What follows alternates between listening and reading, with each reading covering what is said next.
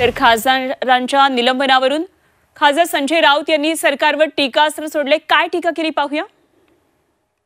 प्रधानमंत्री मोदी आणि त्यांच्या अंधभक्तांनी लोकशाहीच्या पवित्र मंदिराचं स्मशान केलेलं आहे. आज आम्ही स्मशानात जात आहोत. विरोधी पक्ष अजिबात निराश झालेला नाही. मात्र चार राज्यांच्या तीन राज्यांच्या विजयानंतर तुम्हाला मात्र या विजयाचा उन्माद आणि नशा चढलेली आहे. आणि त्या नशेत तुम्हीच संसदेच्या प्रतिष्ठेला आग लावायला निघालेला आहात. पण तुम्ही जरी आग लावली तर या देशाची एकशे चाळीस कोटी कोटी जनता सती जाणार नाही ती लढत राहील. विकासाचा ध्यास म्हणजे